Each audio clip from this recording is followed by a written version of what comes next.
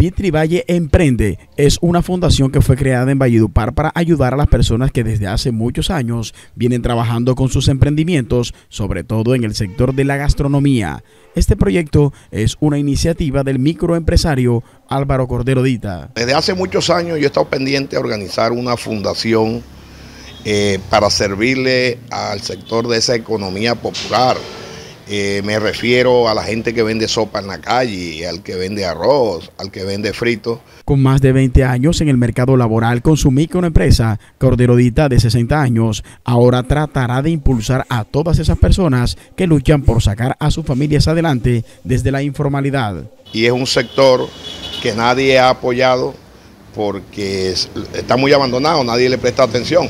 Entonces, hoy Dios me brinda la oportunidad a mis 60 años, pensé que lo iba a ser más joven, pero las cosas son cuando Dios quiera. Ahí estamos organizando, ahí organizamos la fundación.